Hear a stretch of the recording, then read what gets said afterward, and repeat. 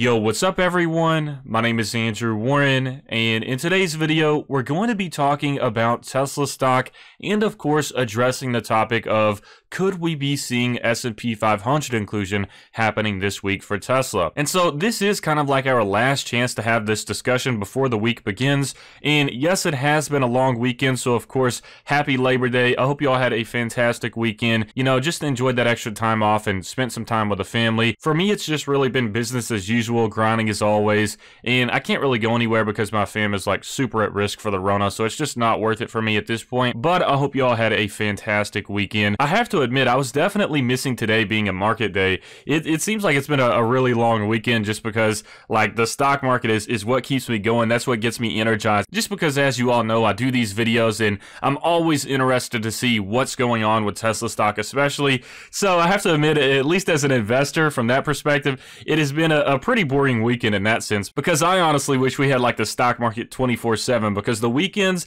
you know, normally back in the day when I was at, at college or at school, the weekends were the best part of the whole week, but now it's like the weekends are the worst part now that I pretty much work every day and the fact that I just love seeing what's going on within the stock market. So it's kind of crazy how that works as you get older. But just getting into this topic for today, like I said, this is all about could we be seeing S&P 500 inclusion happening this week? And of course, as always, if you all do enjoy the Tesla videos, please make sure to smash that like button. But I just want to get into this topic by referencing a recent tweet by Elon Musk. Now, this was one back a few months ago before the stock split happened, and so I just want to show you how cryptic Elon Musk can be sometimes, where he may tweet out something that doesn't seem to have much significance. It may seem like just a meme or a joke, but it actually has some hints in behind that tweet. So let's go ahead and check this out, and then I'll connect it to the topic of S&P 500 inclusion. So as you can see, this was tweeted on May 1st of 2020 on 11:11 a.m. and the tweet stated Tesla stock price is too high in my opinion. And so Tesla stock was up pretty high at this point I believe.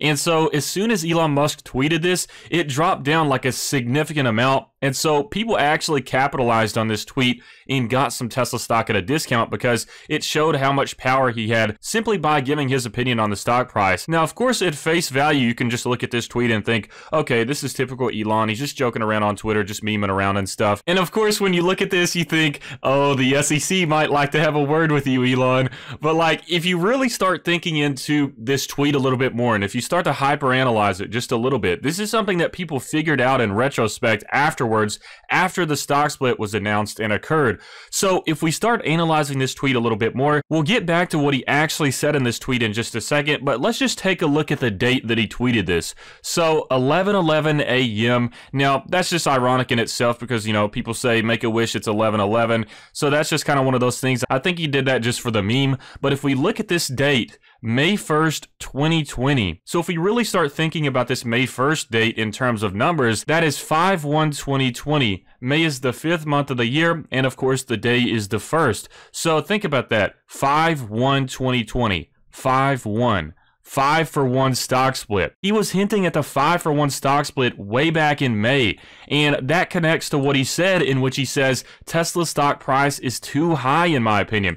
He didn't say it is overvalued. He said the stock price is too high, meaning that with a stock split, that would actually drive the stock price down and make it more affordable compared to like whatever that was back then, which I think would be like $700 pre-split. So just keep in mind that he was hinting at the stock split way back in early May. The stock split didn't happen until later on in August at the end of the month. So Elon Musk does like to leave these little cryptic hints on Twitter, which I absolutely love. I love solving puzzles and just, you know, the small things that you can appreciate, like hints like this that you can solve if you were actually thinking into it. And so this is actually kind of a really intelligent tweet because of the fact that so many people were focusing on the fact that the CEO of this company said the stock price was too high. They got obsessed over the fact that they were interpreting it in terms of the CEO saying the stock price is overvalued and things like that, when it was really just a hint at the stock split. So I want to emphasize with this that Elon Musk puts these hints out all over the place all the time. And just another example of that was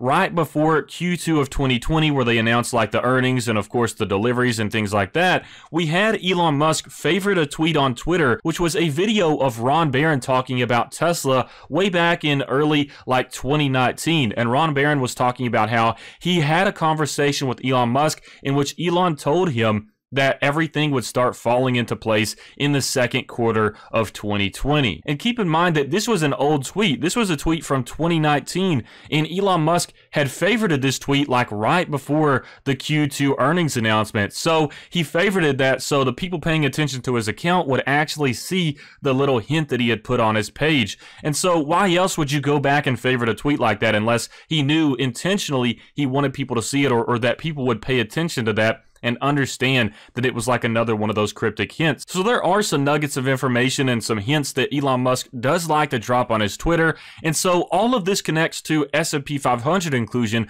because of course, as we know recently, Elon Musk has been talking about snake jazz and Polynesian elevator music. And if you really start to think about that, first off, we'll go ahead and check out this tweet, but I'll explain that a little bit more. As it says right here, this was at 4:17 a.m. on August 20th, 2020, and Elon Musk stated, new Tesla feature coming that enables your car to play snake jazz or Polynesian elevator music through its outside speakers wherever you go. And so this is one that I can't really make the connection on like what the hints are here, but I think this is definitely a reference to S&P 500 inclusion because just think about the order of this tweet and everything else. So snake jazz, you have the S, and then Polynesian elevator music, which is P. So S&P 500, I think this is what it's hinting at. Yes, Elon Musk is memeing around around a little bit, but I also think this is a reference because he has emphasized snake jazz and Polynesian elevator music in multiple tweets now. So here's once again another tweet by Elon Musk at 1:52 a.m. on August 20th, 2020.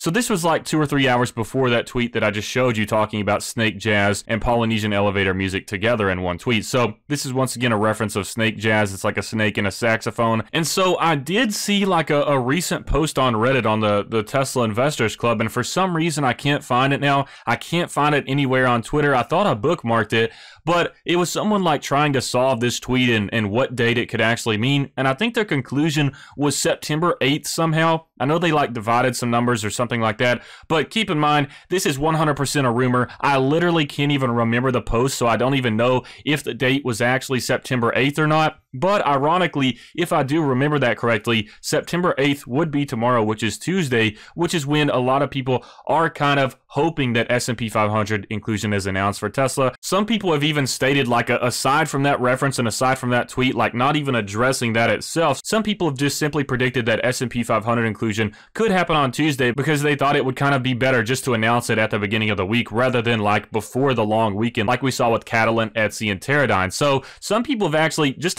aside from that tweet and, and all of those references, some people have simply just stated that they believe it's happening on Tuesday. So I want to emphasize over and over and over again that none of what I say or have said in this video is to be considered financial advice, and that this is simply just a rumor. Right now, there's no sources, there's nothing backing those rumors up whatsoever. It's simply just a bunch of predictions and random ideas from random people on the internet floating around right now. So there's no sources or any credibility backing much of this up right now. So just keep that in mind. I don't want people to rely on this rumor and make a financial decision like buying Tesla stock because they think it's going to happen on Tuesday because it's not guaranteed to happen. There's really nothing backing it up that it could happen happen on Tuesday. However, I'm just mentioning some things that are floating around right now on the internet.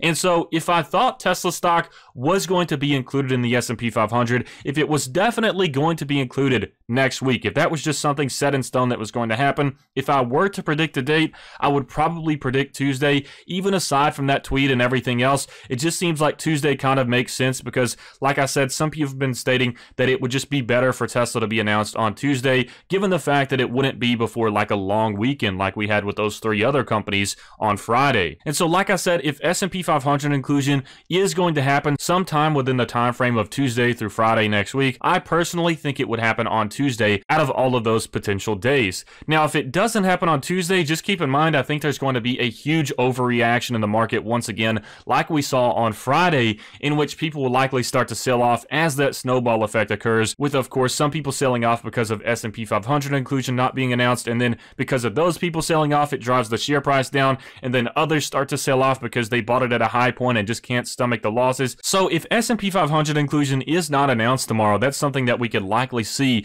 just in my opinion, of course. But so, just with that S&P 500 tweet where he's talking about snake jazz and Polynesian elevator music, it seems like one of those other things where people are so focused on the fact of what he's just literally saying, like with snake jazz, I think that's like a, a Rick and Morty reference or something like that. And then Polynesian elevator music, of course, people are just making memes about that and, and joking around about that. But however, I think there could be somehow like a cryptic tweet within there with, if we're really paying attention, we can maybe figure it out. But I just could not, for some reason, find that post where people were talking about how they thought they solved it. And like I said, I don't remember 100% if the date was actually September 8th, but this is still a long shot. Just keep in mind, we could be over analyzing things where there actually might not be a hint in these tweets, and it could just be Elon Musk joking around on Twitter. But regardless, I still think it's really fun to look for these things, and it's kind of awesome that we have a CEO that jokes around and puts these little hints and tweets and things like that. But regardless, hope you all enjoyed this video. Please make sure to smash that like button if you did. And also, feel free to check out Robinhood and Webull in the description below. If you sign up with my referral link, you'll get some free stocks. And especially with Webull right now, you can get two free stocks valued up to $1,400 if you deposit $100 into your account and sign up with my referral link. So it's basically just free passive income. And you can take that $100 right back out of your account after you get the free stocks. So like I said, basically just free stocks, free money. But hope you all enjoyed this video, and I hope you have a fantastic rest of your week.